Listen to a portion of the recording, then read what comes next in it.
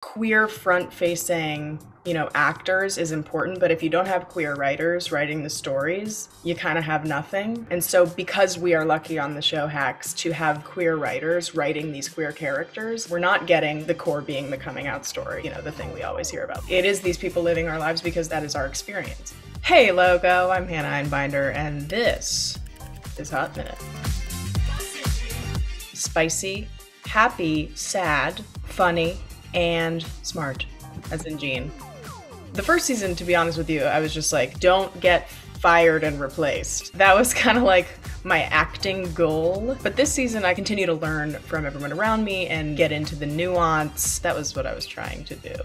It's kind of one step forward, two steps back most of the time. But I have a lot of empathy for her as a person because I too am not perfect and very far from it. But yeah, just trying to be a better person friend, coworker, etc. I would say that the core of the show continues, which is we get to see all of these beautiful characters laughing and loving and fighting and screaming and you know the theme of the L word insert that into you know sort of what we're up to over here on hacks. It's like we're just getting warmed up for what we're doing now. Everyone's so funny and so great.